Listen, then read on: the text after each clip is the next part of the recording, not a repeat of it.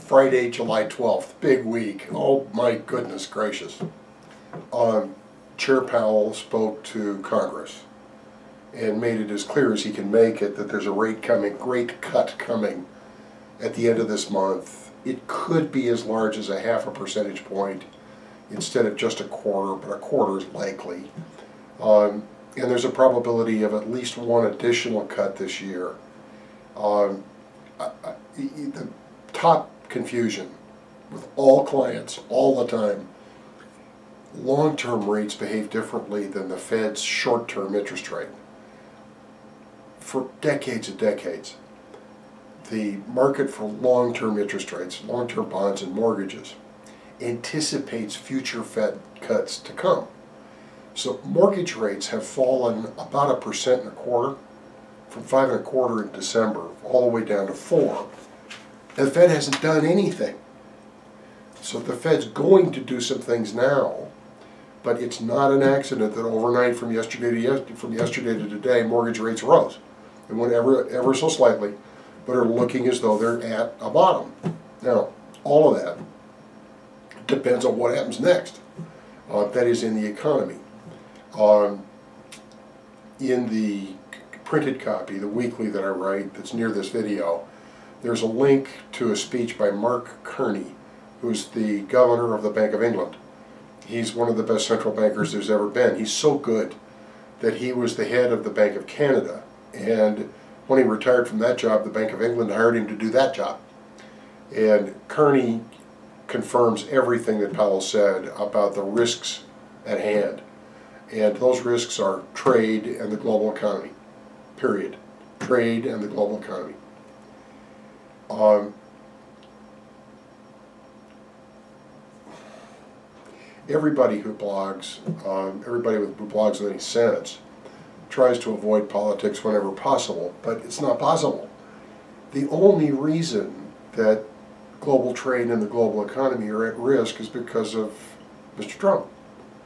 If he had not begun a trade war uh, last year, we would not be at the risk that we are. Now, trade disputes are arguably as old as mankind. Uh, they go back to the Siberian steppes, and before that to Africa, 100,000 years ago.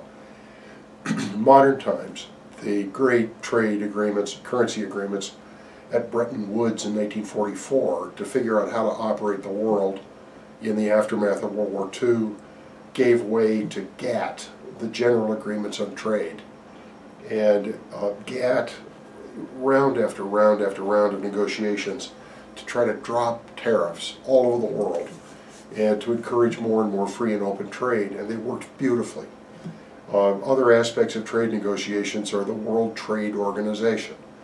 The World Bank is involved, the International Monetary Fund is involved. And everything that we know about trade negotiations says that they are best done in private. And they are never done, especially in public, demanding that somebody else surrender. People don't do that. We wouldn't do that. China is not going to do that there may not be a face-saving way out of this for Mr. Trump. But there's absolutely, certainly, no trade deal forthcoming from China in which China appears to kneel. It, it, it isn't going to happen. And yet here we are with the global economy, sooner or later the local economy, at risk because of this trade war.